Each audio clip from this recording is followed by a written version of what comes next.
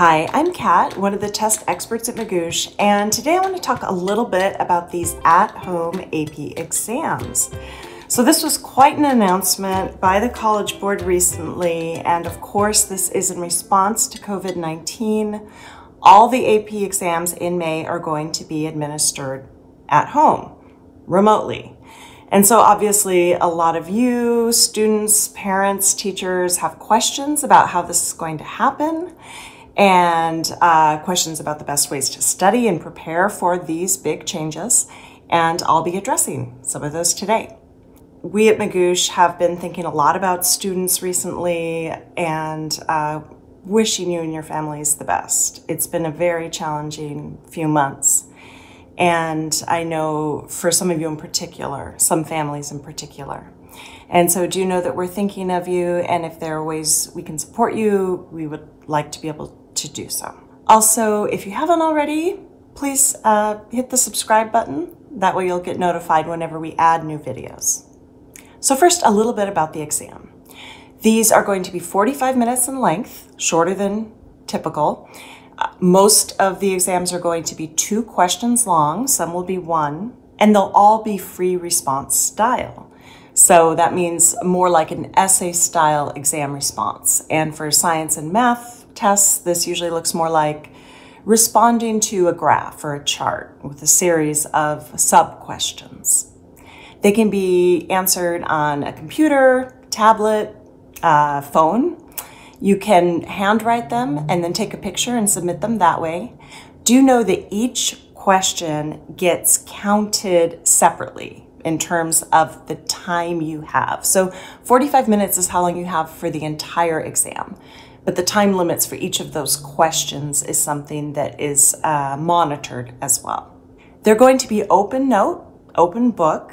However, College Board is going to be taking measures to make sure that plagiarism, uh, doesn't happen, is caught. Also, any kind of collaboration is against their policy. So that means no talking with other students, either in your home, if you have someone else in your house who's taking the same exam, or uh, like online. So don't have any browser windows open, just don't even go there. Um, even if you have innocent intentions, just keep all of that types of type of communication um, uh, off the table because we don't know the details about how they'll be monitoring this, but there probably will be a few different types of software they'll be using to try and make sure that students aren't doing this. The exam still will be scaled one to five, scored anything three and above uh, counts towards college credit. Colleges will be accepting these even though they're unusual exam circumstances and they'll all be taking place May 11th through May 22nd. I've linked some of the different sites that the College Board has been using to post their updates, their schedules, their free study resources. That's all below this video, so check that out.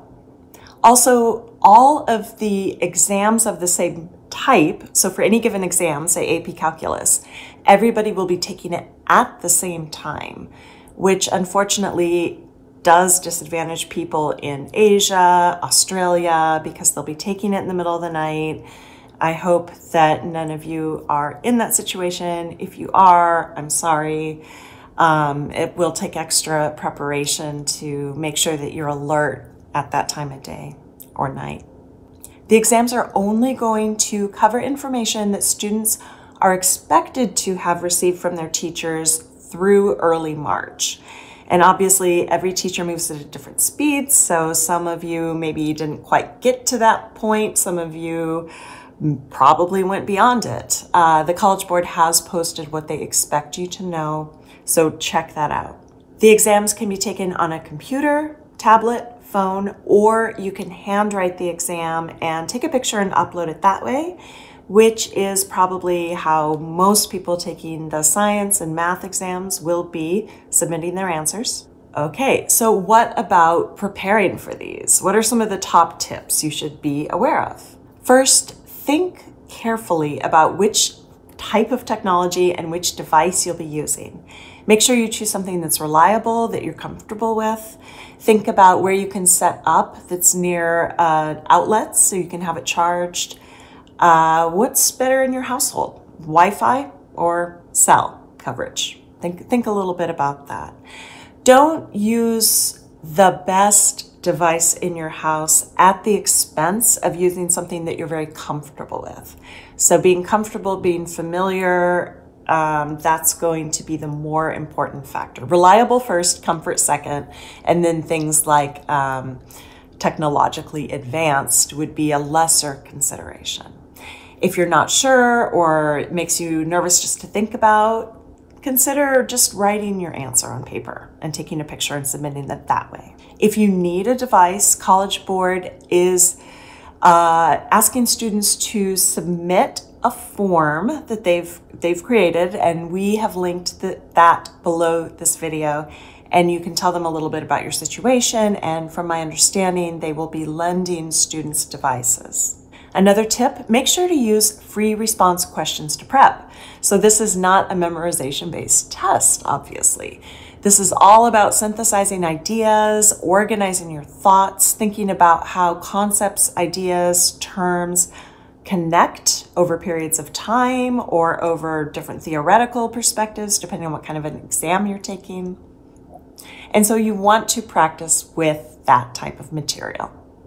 Another tip, make sure to use the College Board test platform sometime before your exam or exams. Some of you will be taking more than one.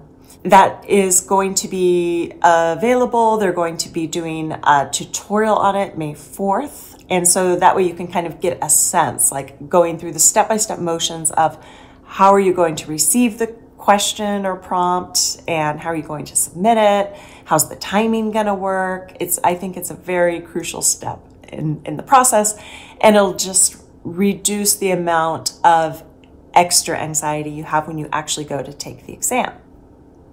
If possible, try to do that in conjunction with actually timing yourself. So using the 45 minutes dividing up those 45 minutes by each question if your exam has more than one question. Another key tip, don't rely too much on notes. If I was a student approaching this, what I would do would be go through my class notes, highlight certain key concepts, dates, just so they're identifiable and quickly um, visually pop, you might say, and then I would create another few sheets of notes that are condensed versions, maybe outlines, maybe lists of ideas and concepts that go together. And I would practice and study for the exam by actually writing responses to free response questions rather than trying to learn things, rather than trying to rewrite my notes all in detail a million different ways. So just have a few pages of condensed notes and then spend a lot of time outlining and practicing responses. And last, make sure that you practice with the College Board resources, free resources posted both on their website and then also a YouTube channel that they've created.